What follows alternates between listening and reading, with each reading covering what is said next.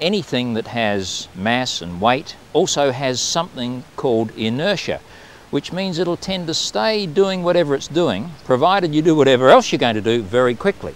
So if I balance that apple on my elbow like this, if I move my hand fast, I can catch it before it falls. So this is the same principle operating here. Heavy bowl of apples right in the centre.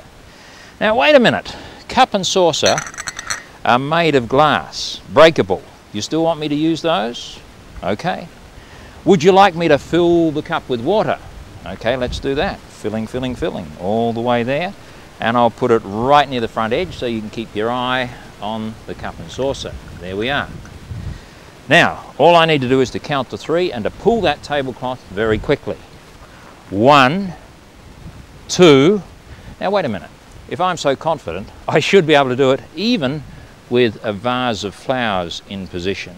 And you should be able to do the same thing as well. Here we go. Ready, set, go!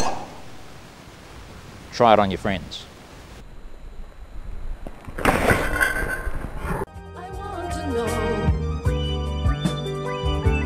Curiosity.